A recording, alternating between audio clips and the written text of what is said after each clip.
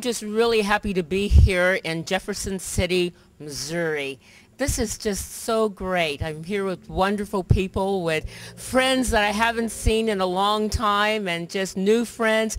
That's one of the benefits of Seal America for Ambassador and me is that we are connecting, reconnecting with the body of Christ. You know, you may be like the prophet where you think, oh, God, I'm the only one praying for this nation.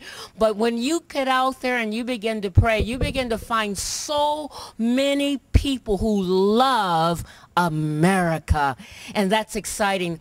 Our lives have truly been enriched by our friends, longtime friends, and new friends. We just thank God for it. And that's what the blood does. It unites. You know, maybe my foot doesn't necessarily fellowship with other parts of my body, but the blood in my body unites the entire body. My, my foot, my hand and every other part of me benefits from the blood that runs through my veins. That's what the blood of Jesus Christ does for us as a body of Christ, but for America.